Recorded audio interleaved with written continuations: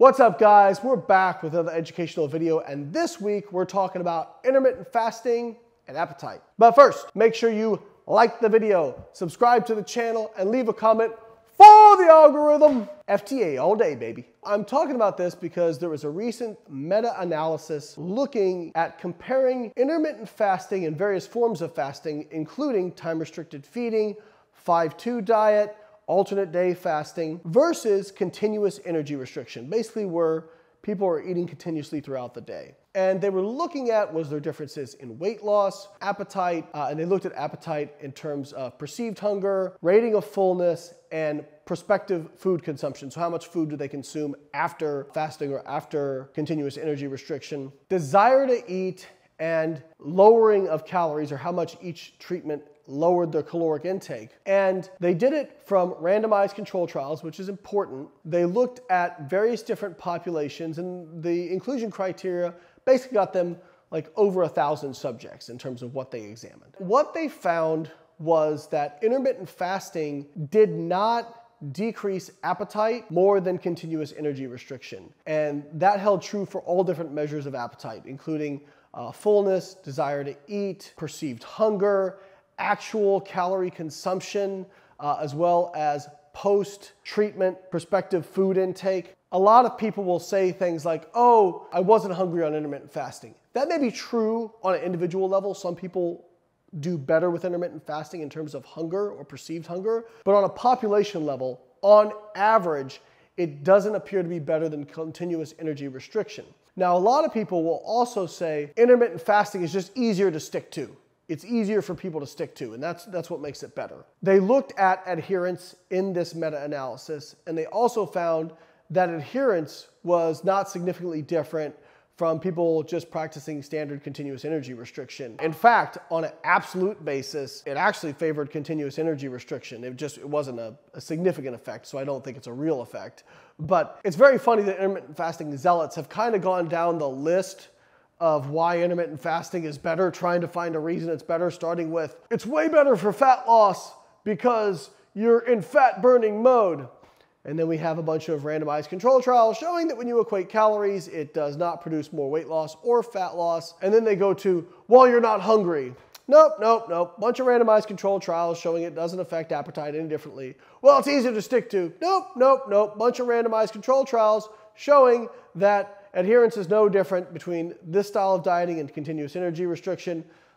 So this is also in line with a recent randomized control trial where they looked at intermittent fasting versus continuous energy restriction on food intake and fat loss.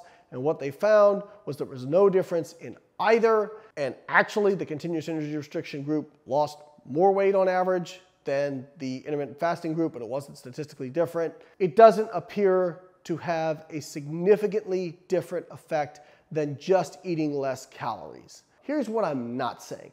I'm not saying intermittent fasting isn't a good tool for some people. It absolutely is.